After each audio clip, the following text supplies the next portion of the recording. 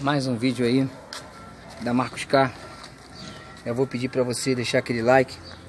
Vou pedir para você compartilhar esse vídeo aí.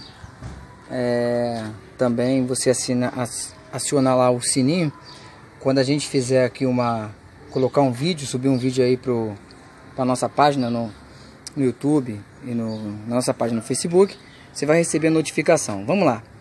Siena 2003 esse motorzinho é um motor Fiasa. Esse aqui é o terror do, do mecânico, do reparador.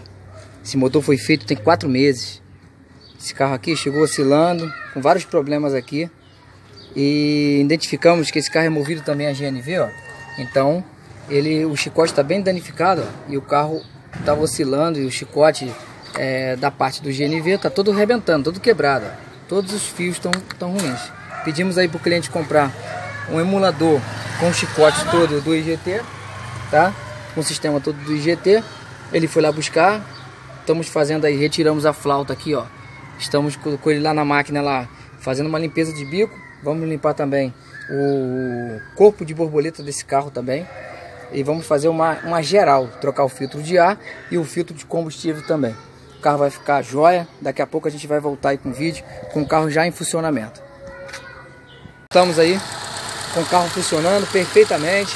Aí, trocamos as tomadinhas todas do carro, ó, chicotinho, a caixa do emulador de bico, todo chicote novo, os bicos limpos. Trocamos também o filtro de ar, filtro de combustível, o carro tá jóia, cliente satisfeito. É. Tanto no GNV quanto na gasolina, o carro ficou 100%. Não leve seu carro em qualquer lugar, vem para Marcos Carlos.